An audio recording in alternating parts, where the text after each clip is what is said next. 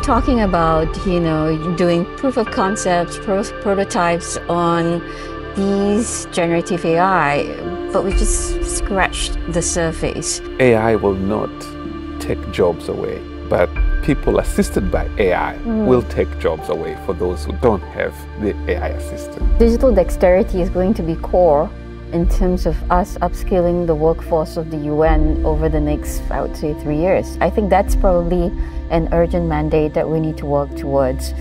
10% on generative AI is about the models.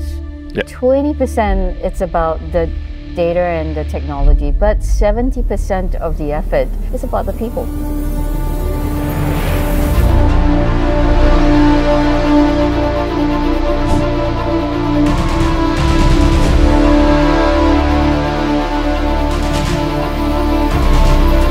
We are dealing with uh, topics uh, that uh, indeed make impact in a digital area from latest technologies and AI, but to actually more substantive ways on how we can make an impact and how we can use technology to not only enable but accelerate achievements towards the SDGs.